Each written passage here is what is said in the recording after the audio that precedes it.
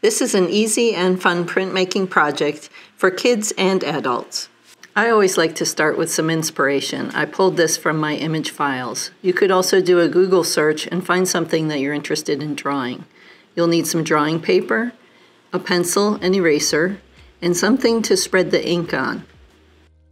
I'm using artist palette paper, but you could use a piece of plexiglass or a piece of glass, uh, plastic placemat, or I like to use freezer paper wrapped around cardboard or even tinfoil wrapped around a cookie sheet. A palette knife and some block printing inks. I'm using Speedball brand, but there are other brands. You'll need a brayer, a plastic spoon for rubbing the backside of the print, and some different kinds of paper to print on. You can use white paper, but I also really love to print on colored paper. I always keep a wet paper towel close by to wipe my hands. You'll also need a piece of styrofoam, which I cut out from my takeout containers. You also could buy um, styrofoam plates and cut the center out. The first thing I do is trace the size of the styrofoam onto my drawing paper so that I'll do the sketch the right size. So using my inspiration, I'm just going to draw. Now, of course, you could trace something. Um, I like to just make it my own, and it doesn't have to be perfect when you're working with styrofoam printing.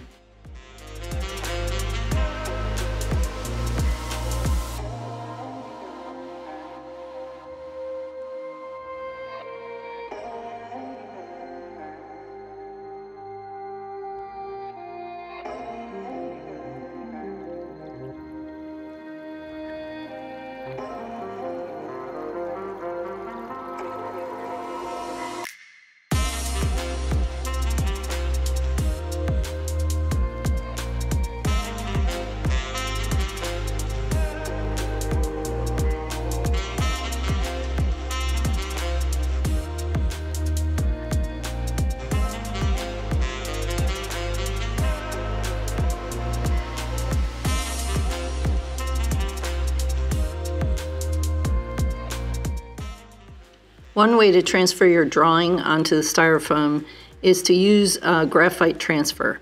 So I'm using the window as a light box and I'm scribbling graphite on the back of my drawing. I usually use a darker pencil if I have one. If not, you just use a lot of lead on the back of this drawing.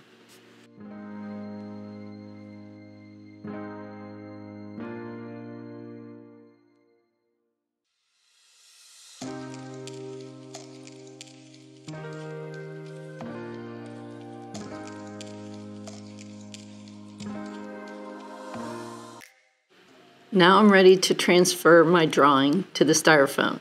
So you want to make sure you place it under there correctly. And if you're working with kids, you can definitely tape this down so it doesn't wiggle around while they're transferring. You press hard with the pencil because you're transferring the graphite, but also a little bit of an indentation onto the styrofoam. Go over your whole drawing with this equal pressure but not pressing super hard because you're going to go over it again once you remove the paper and can see your drawing on the styrofoam.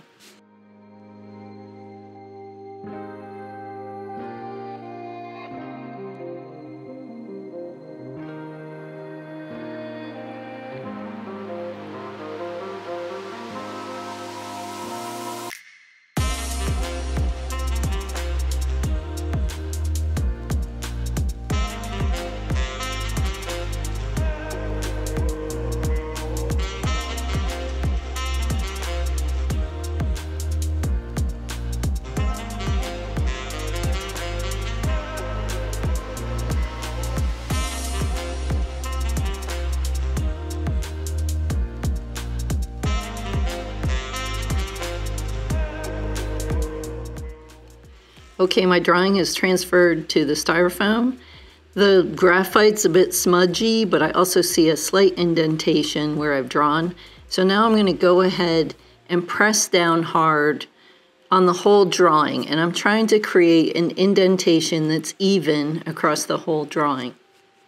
The idea is whatever you're pressing down will not receive ink. So you want to make sure that every detail is pressed in evenly.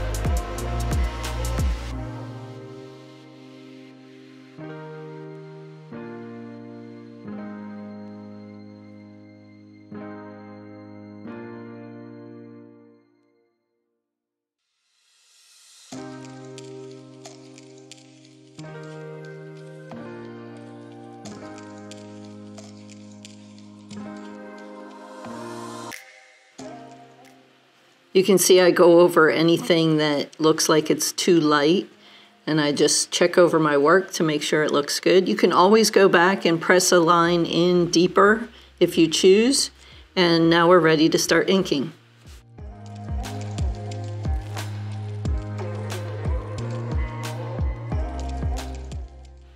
Here I'm adding some extender that is sold with the inks. This lets the ink stay wet longer. So if you're working with children, it's really a good idea to include this and you just mix it into your ink.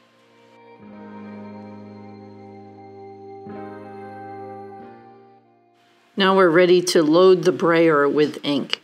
So you pick up some ink, you go to a clean spot here and roll it back and forth until you can tell that the brayer is covered with ink in all areas. This is actually a really important step.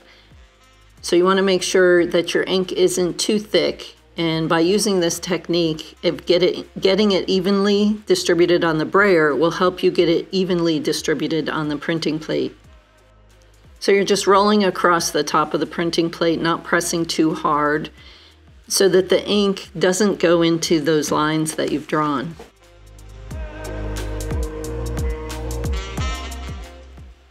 Once my plate is evenly inked, I'm ready to pull a print.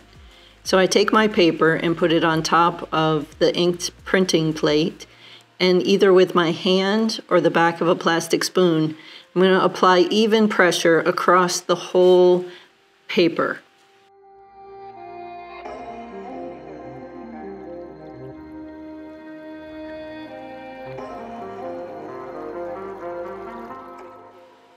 You can always pull up a corner. If you hold one side with your hand, you can pull up the other side to see how you're doing.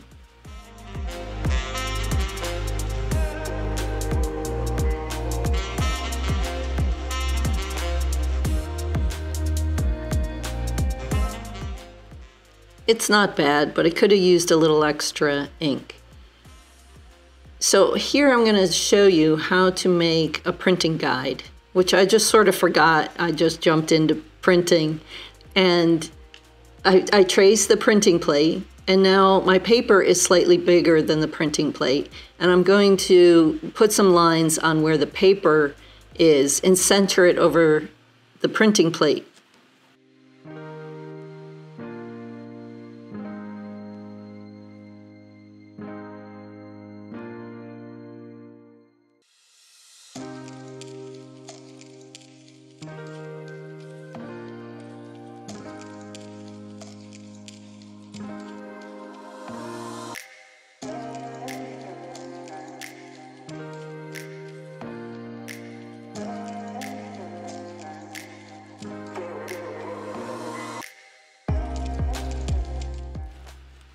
Okay, there we go. That's what a printing guide looks like. So here we go again. You can see this time that when I go to ink the plate, you can't really tell how much ink you're putting on. So that's why that loading the brayer step is very important.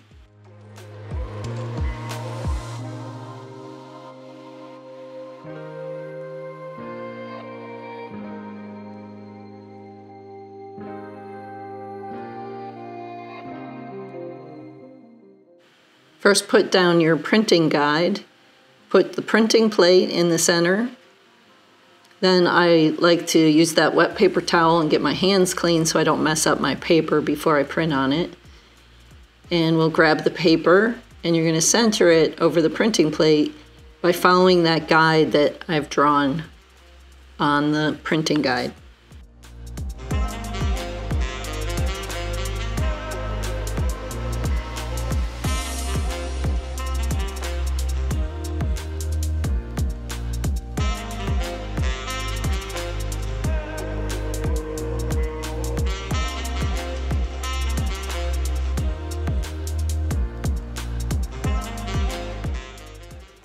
I decided I want to try a different color. So you just wash this off with water and either a sponge or your fingers, your hands work.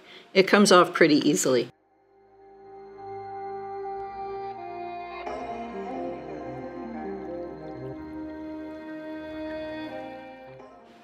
When the ink gets too spread out, I use the palette knife to scrape it off the palette paper and gather it back up again. This way you don't waste a lot of ink.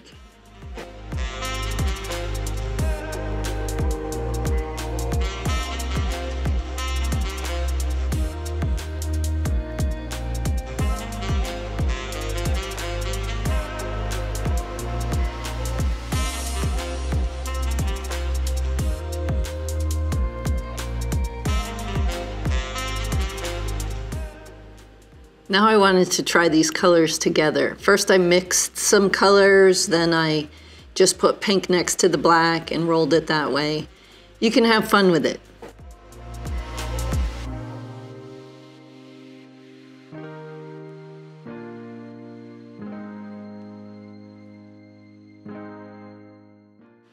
I've done this project by myself and I've done this project with kids before, but as you can see, I really had fun this time around. I didn't want to stop. So I hope you'll give it a try. And like I said, kids will definitely enjoy this project as well as adults.